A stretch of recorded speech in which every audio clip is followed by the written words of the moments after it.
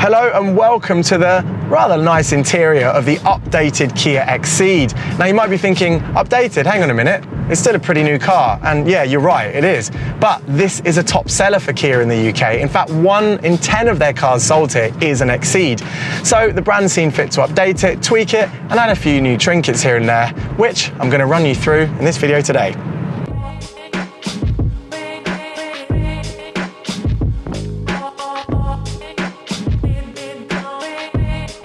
What's changed? Well, you might notice a few minor detail changes on the exterior. The lights are a little bit sharper, and generally there's a little bit more pizzazz to the design, a few more bits of chrome. And on this model, which is the three level car, which I'm told is the one most of you guys will be buying if you're looking at an XCeed, well, this one gets a few unique features which make it stand out from the range. But really what sells these cars is what's under the bonnet, or actually what's under most of the car, because this is the plug-in hybrid model that's very, very popular with fleet buyers. It's pretty cheap to run, and with 30 miles of claimed range when you're driving it in electric only mode, it's pretty competitive as well for the segment. Drives really nicely on these urban roads. It's so easy to steer. Doesn't feel any bigger than a hatchback because it's not. It's basically a C segment hatch, a Focus or Ceed style car, just a bit taller. But it does ride a little better because it rides a bit higher than the normal Ceed. You've got a bit more suspension travel and Kia's set it to be a little bit softer as well.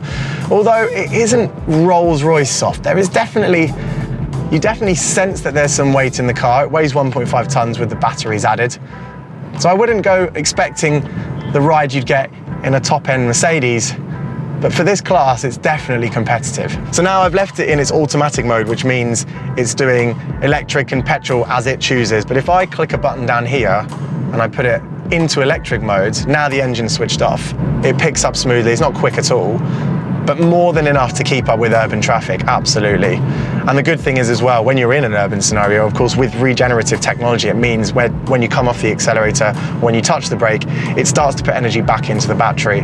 So you might even get a little bit more than that claim 30 if you're really, really efficient in your driving style. When you get out onto the open road, even when you're in EV mode, the car will automatically start the engine if you ask for a lot more power. So if you put your foot down because you want to do an overtake or you're pulling out of a junction, both engine and electric motor will work in tandem. That's pretty standard practice these days. But what I have to say is, you don't notice it at all. I can barely hear the engine. I certainly can't feel it. There's no feeling of an engine starting or any vibrations. It's so refined. They've done a really, really good job when it comes to insulating you from the outside world in terms of sounds and also what's right ahead of you under the bonnet. You've got steer assist, you've got adaptive cruise control, all of the safety systems that Kia is famous for and that most buyers are going to need. And you also get two zone climate control. You've got heated steering wheel, heated seats as well for both of the front seats. Spacious, comfortable, it's a nice place to be. And I think it's pretty nice in the back. Is it nice in the back, Henry? Yeah, we've got the Henry approval, Henry thumbs up. Would you drive this like a sports car? Well, I don't think you would because obviously it's a hybrid intent on efficiency. But because the sport mode is here and you can quicken the accelerator response and crucially, because Kia are really good at making comfortable seating positions. So I can sit nice and low in the car with the steering wheel in exactly the right position that I'd like it. Well, it actually does feel like a nice thing to drive. You are conscious of the weight, and if I just move the car around on the roads here, it does pitch and roll a bit, but it does feel quite, it was quite fun actually. It's quite a nice thing to drive. Definitely not sporty though. That was all right, wasn't it? I think the changes that they've made to this plug-in hybrid model are going to appeal to a lot of people. And actually, there's a GT line over there with a few changes that I think a lot of other viewers are going to enjoy as well. But before we have a look at that, join me around the front of the car again because I think it's worth looking at this interior in a little closer detail. Now I mentioned that this screen is wider and as you can see here, it's set angled at the driver along with all these controls down here. This stuff is so easy to use. Automatic gearbox lever down here, two cup holders, and you've got two USB ports down here. One's a USB-C and one's a conventional USB. And then you've got storage down here, big cubby holes, and as I said, seating position is really very nice. In the back, space is pretty good back here. In fact, actually, it's still basically a hatchback in its size, but I can tuck my feet under the seat ahead of me. This is how I like it, and there's loads of knee room over here. And also, when it comes to the headroom as well, I've got good space above me. All right, it's a little bit snug to the side, but more than enough room here. You'll be very comfortable on a long journey.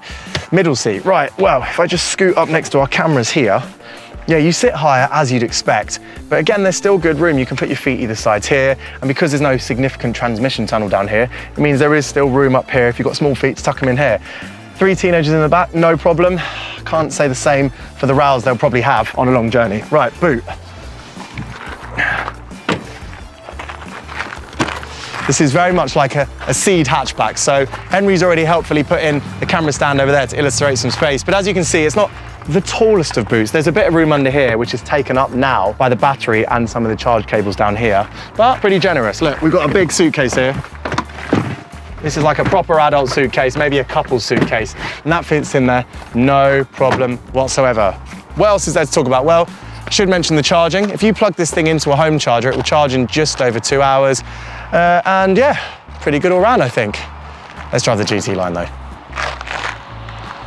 Okay, now we're in the GT line, which is the top model barring one, the GT Line S. And I'm told that this is the car that consumers who aren't in the fleet market, for example, this is the car that's most likely to lure them in. Now, there's a key difference in this model to the other offerings, and that is that because this is slightly more driver focused, you can only get a turbocharged 1.5 litre engine with it. It's not hybrid, it's not mild hybrid, it's just a proper petrol engine. But it is turbocharged, which means it gets 160 horsepower and there's a nice bit of low down torque as well. Oh, and also there's a manual gearbox. It's a six speed manual, quite a nice one as well. But let's just talk about the key differences elsewhere in the car. So higher grade trim means higher grade finish. Everything is wrapped with leather or at least some leather, seats included.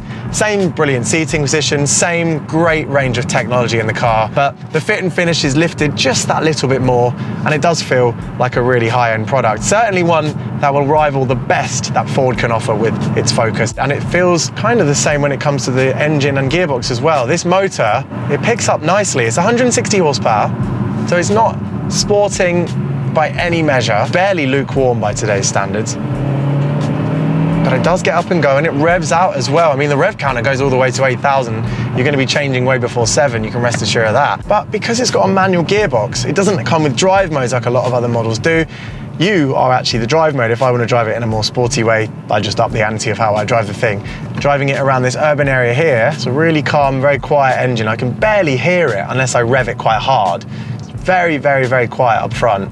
And this gearbox as well is really nice. It's nice and slick through the gate. The gearbox itself as well, the travel of the lever is quite, it's quite short for this type of car. So it does feel quite sporty in that regard. What about the ride? Well, do you know what? I think I can notice the 200-ish kg less that this car is carrying because without the battery in the back and without the electric motor, it's just a weight up front with the petrol engine, it does feel lighter. All right, it's still not the most cushioned car, but you kind of forgive it a bit more because it's a GT line. There's a bit of a firmness over smaller bumps, but when it comes to the big undulating stuff, it's a really nice ride actually. Yeah, it definitely feels more eager on the front because there's more you're more aware of the weight being over the nose and it steers nicely. Okay, so I'm just arriving up to a motorway slip road. So let's see how it deals with powering up onto a motorway. I need to stop heel and toeing because most people don't do that. But it's so fun. Right, here we go, power on.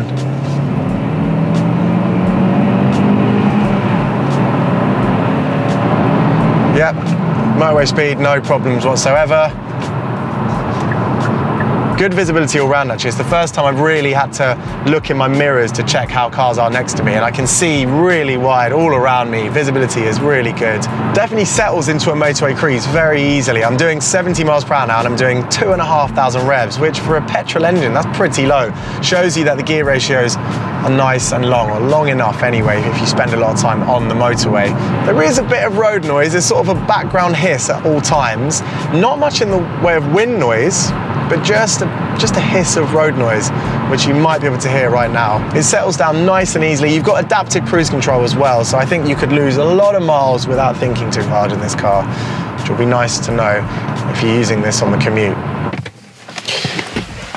So, that was the GT line. And you know what? I really liked it. It kind of felt like one of those old school hot hatches where you have to work the engine a bit hard and then you get a reward of a really nice motor. It likes to rev out a little bit and the six speed gearbox in this car is really good. I think it handles nicely as well. So it kind of to me has surprised me so much that I think this is the car I would choose. However, if you are a hybrid buyer or you're a fleet buyer, can totally see why you'd want the plug-in hybrid version. For me though, also the added trinkets that you get on this, bigger wheels, and of course, there was a little bit of extra space in the boot because you don't have the batteries in the back. That really just edges it. And I think compared to the rivals, the C4 from Citroen, and even the Focus Active from Ford, this Kia feels just that higher level in terms of fit and finish. I'm a big fan, but which would you choose? Let us know in the comments below. And if you enjoyed this video, do click that like button and subscribe to the channel because we've got a lot more cars to test. See you soon.